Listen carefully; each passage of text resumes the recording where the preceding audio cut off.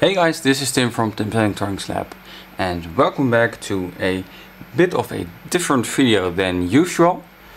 That's because my girlfriend uh, bought the Fitbit Charge 3.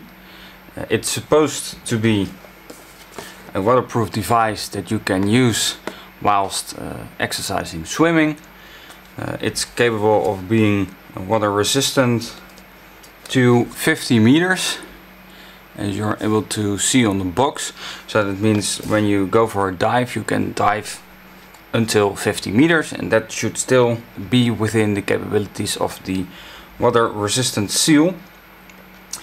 My uh, girlfriend went down to 2 meters and then the device started acting up. It started showing all kinds of different screens. It didn't vibrate anymore the heartbeat sensor on the bottom stopped working. The battery was discharged in oh, I think she said uh, half an hour. The screen is not fully lit anymore.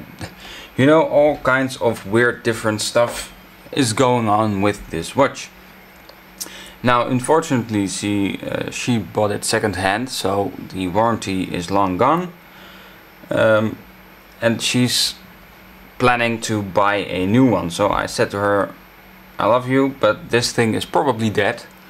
I can take it apart, but you know, it's dead. Uh, she says, well, do what you gotta do. Now it's here. I've uh, tried to reset it a couple of times using a soft and hard reset. Uh, that didn't work. I tried turning it off. You can actually turn this thing off. You need to put it in the cradle like so. Make sure that the cradle has got power. And then you've got to hold this button until the bar on the screen is completely full. And then you gotta release it and remove it from the cradle. If you see that smiley face during that process that means that you've failed to shut down the device. And if you want to power it back up you'll just have to insert it into the cradle applied power and it should come back to life. Now Fitbit Charge 3 probably be water damage so let's grab my microscope and we'll tear this thing apart. So it turns out that I can't zoom out far enough on the microscope so I'll just have to zoom in with my main camera. Now you need to remove these straps which obviously you probably know how to do then there will be two screws over here. One there and one over there. You need to remove them on both sides. The screen will be glued in place. Now I think that's my theory that if this thing has uh, water leakage the screen will just come off because the seal the, the glue seal is probably broken so let's try to figure that out. It's a Torx, I think it's a T2, so very small. But it should be in there. Fortunately my screwdriver kit has a bit that actually fits this screw.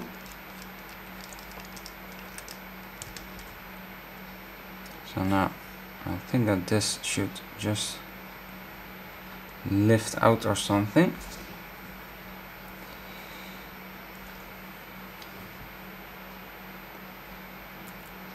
Maybe I didn't loosen it enough.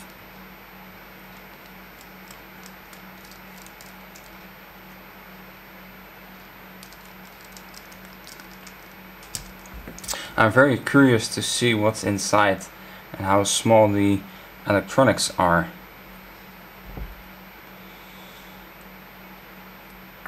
There we go. So put that aside. So the one with the do not throw away battery icon is at the top. Now I can already see, I don't think you can, but I can already see some condensation happening over here. That's not a good sign.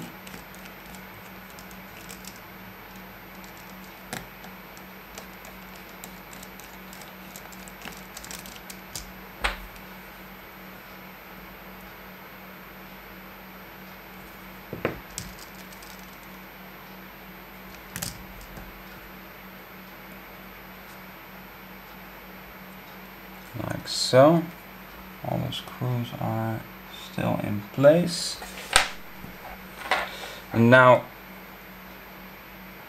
removing the screen will be very challenging. Ooh. Ah, one of the levers fell out. That will just slide upwards like that.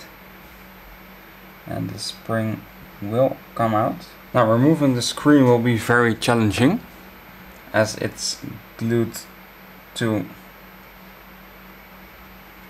the device.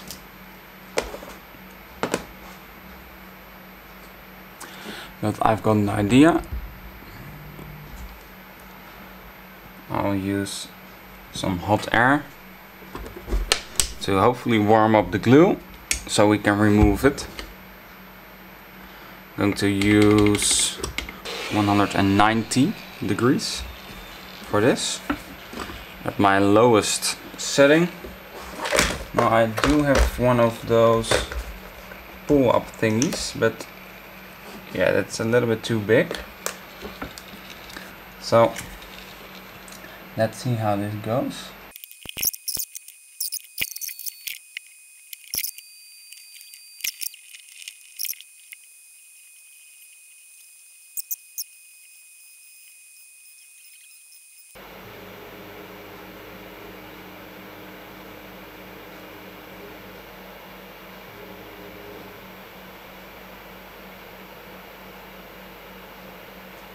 Yeah, I think that I can see bubbles on the uh, heartbeat sensor. So let's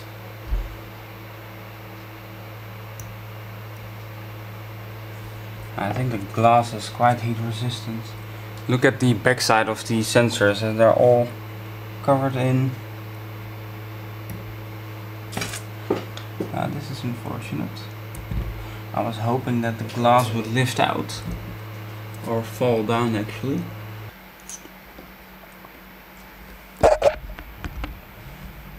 Just insert a white knife.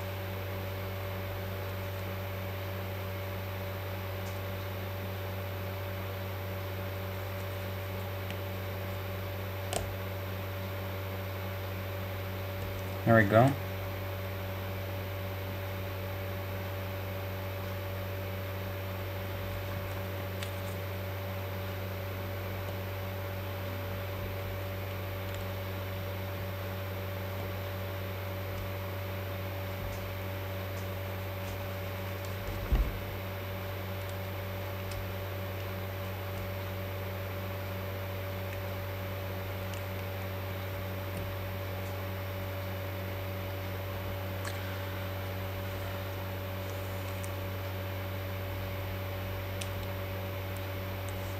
There we go.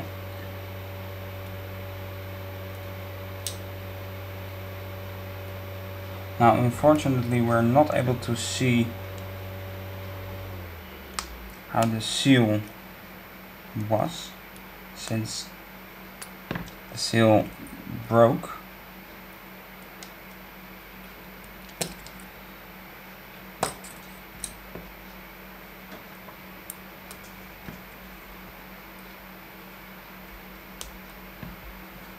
But I think the condensation on the back says more than enough. Yes. Never thought I would use the absolutely smallest G1 bit ever.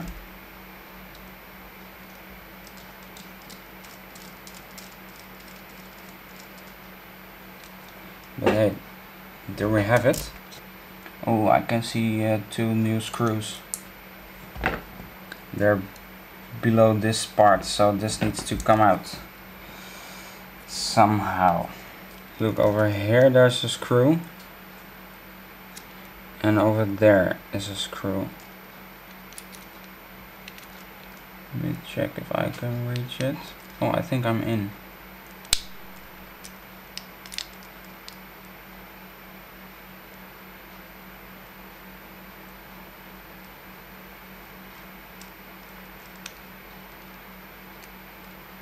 yeah that's one.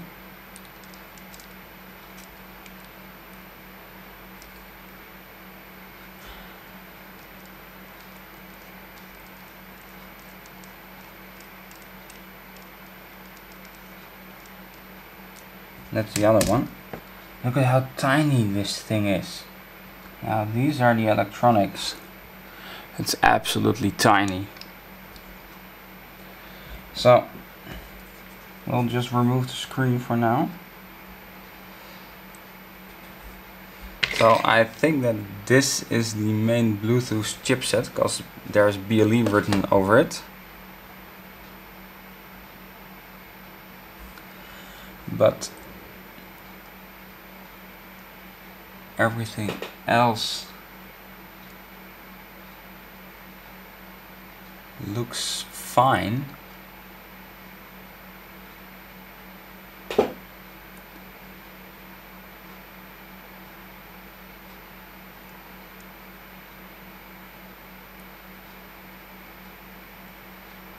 All the contacts look fine.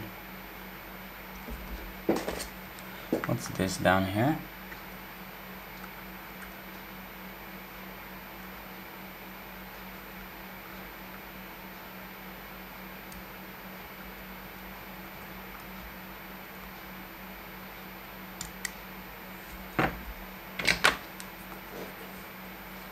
microphone of some sort or pressure sensor.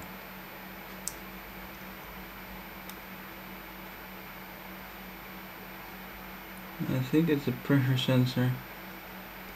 This is the button. It's the side over here, the button.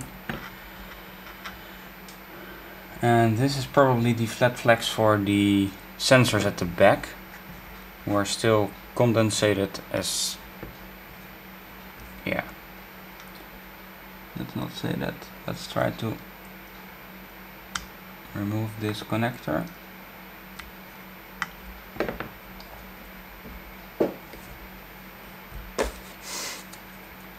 because I think we do need to remove the main PCB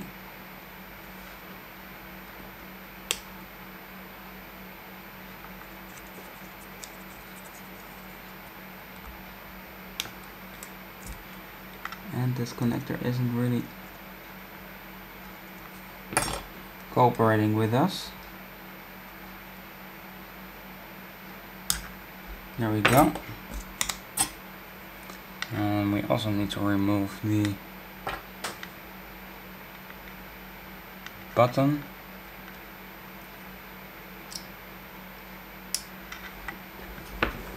And now I think we should probably be able to lift this thing up somehow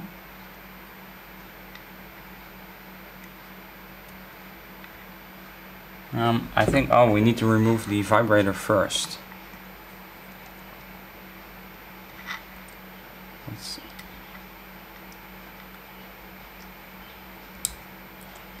like so and now we can hopefully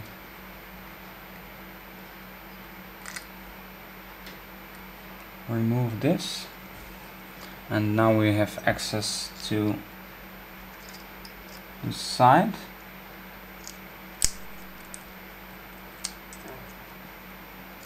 and should be able to lift it out. There we go. Ooh. I can immediately see the problem. Ooh. Yeah, that's bad. That's water damage.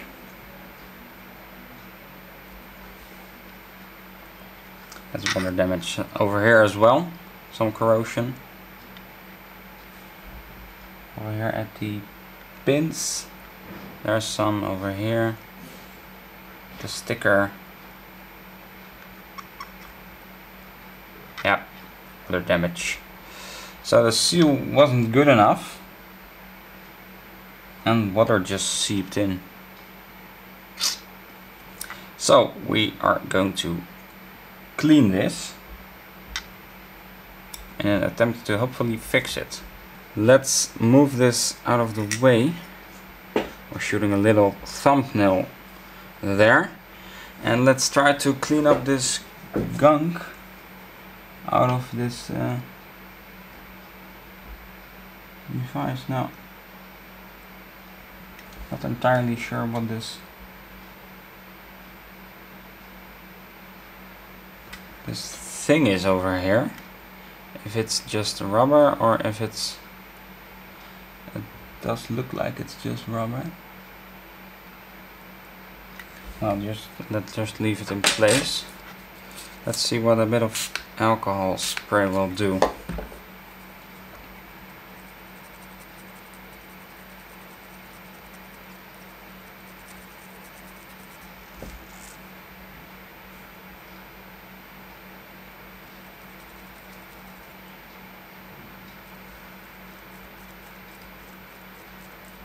Oh, that already cleaned up this thing big time.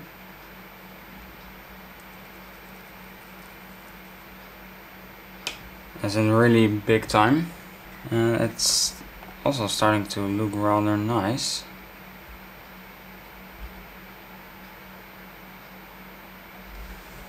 There are a few things corroded.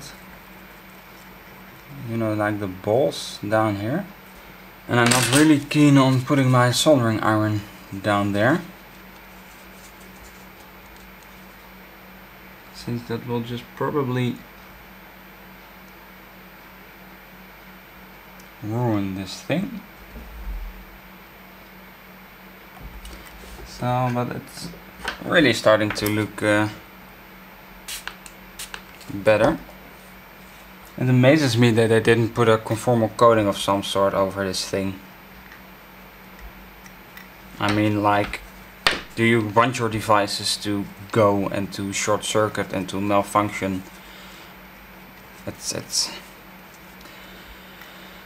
I thought Fitbit was a good company, but when I see this, it, it's uh, total bullshit.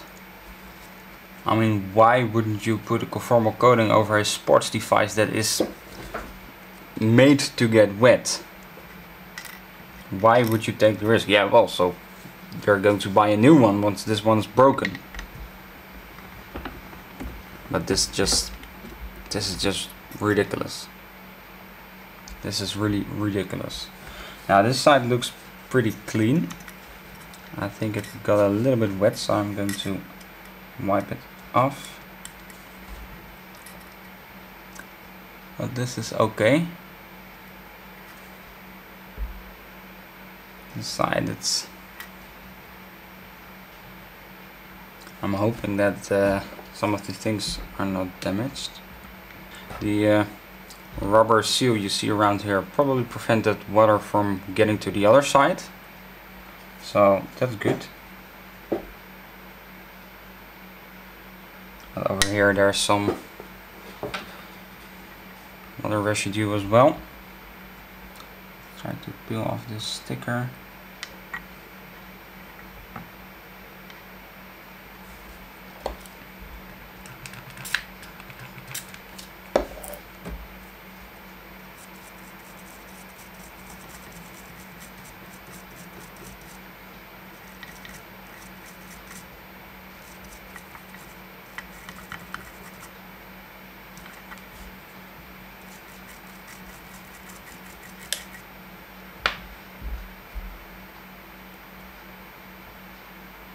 I think that's pretty clean now. Now I do see something over there. Not sure what that is, but let's just zoom in. Because we've got more than enough zooming capabilities left.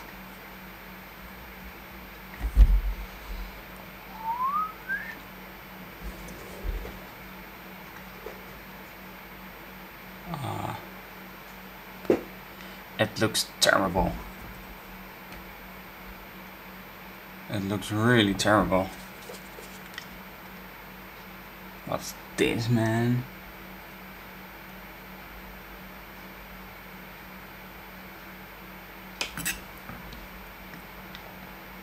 It's starting to look that those are some charcoal capacitors or something.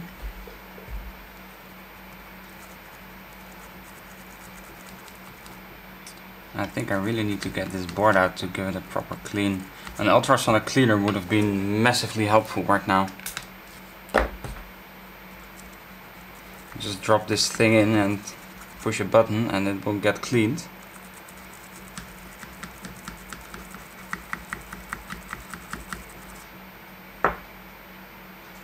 So Banggood, if you're listening, hit me up.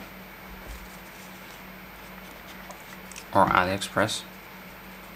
Now here's your source of the problem because this thing leaked and then water entered the system.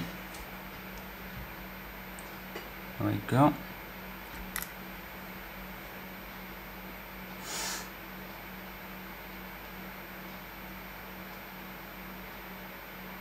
Yeah, there's your water. I'm pretty sure that isn't alcohol over here. Down in there, there's water everywhere. No, that isn't alcohol. It can't be alcohol. Since this has a waterproof seal at the bottom. But let's use the hot air gun to slowly try to evaporate the water. Let's put it at 100 degrees.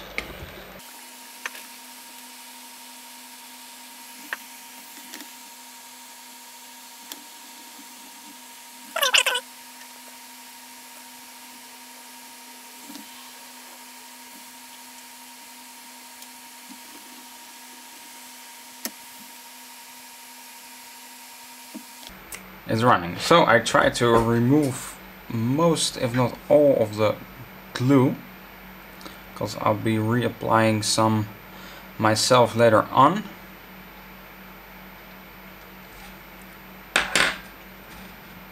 And I found another toothbrush that, well, hopefully is a little bit cleaner that I'm going to use to clean this once again.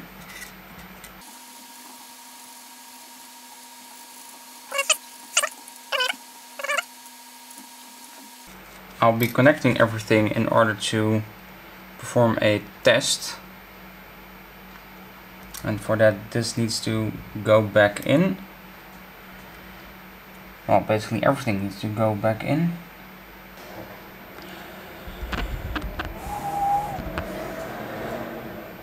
So let's put this back in. I'm not sure if you are able to see it but it's working again. Yes. Only problem, the screen. We do need to get a new screen. But other than that, it's working. So unfortunately, due to a broken screen, it wraps it up for now. There are some screens available online that you can order to replace this broken screen. Uh, I might replace it, but I'm not sure. I was focusing on this thing, but maybe this thing is also... Well, I might replace it, I'm not sure. Uh, there are some screens on AliExpress. They're like uh, 14 euros, so that's not a hell of a deal.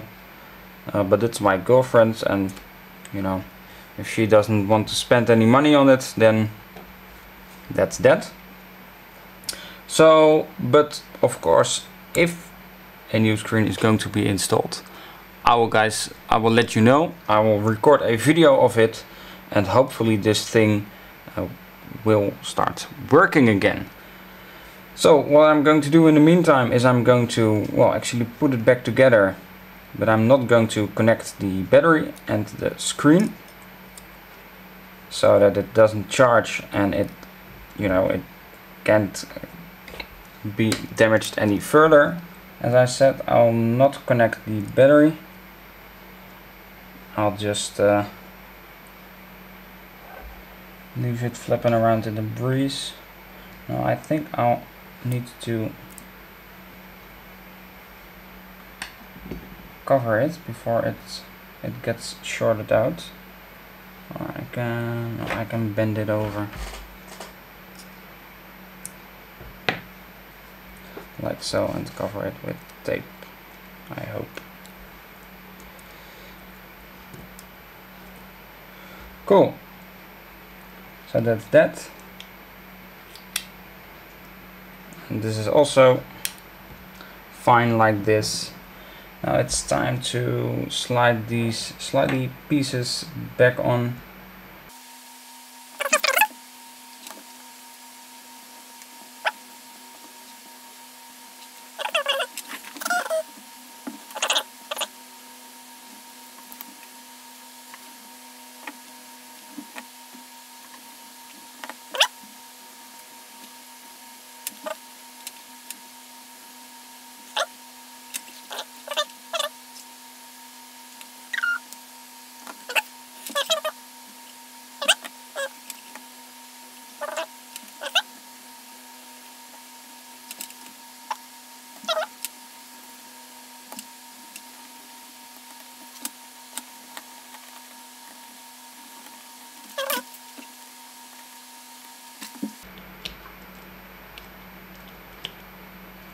Alright, so that's that. It's together. So again guys, thanks for watching this video and I dearly hope to see you in part 2. Bye! Oh hey hello, uh, I, I wasn't expecting you over here. Well, if you want, you can also view two other videos of me. So make sure to click them and don't forget to subscribe and like so you always get notified of my new videos.